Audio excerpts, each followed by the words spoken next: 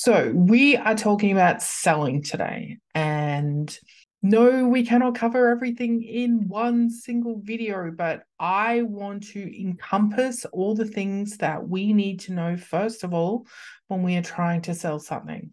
So we'll just go over some of the basics of what is it that you are selling, whether it's a product, whether it's a service, even if it's just your own message. If you are selling something, you have a reason why you want to sell it.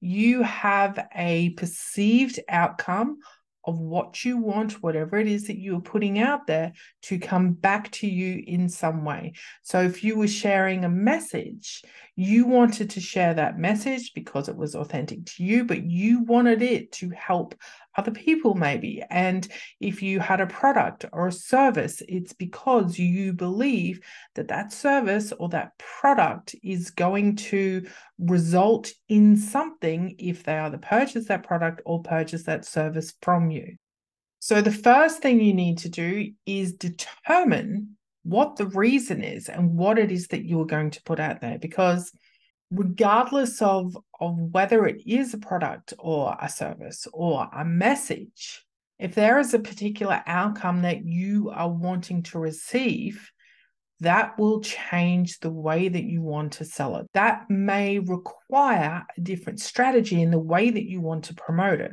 There is no clear, hard, and fast rule in the way that you need to market certain things.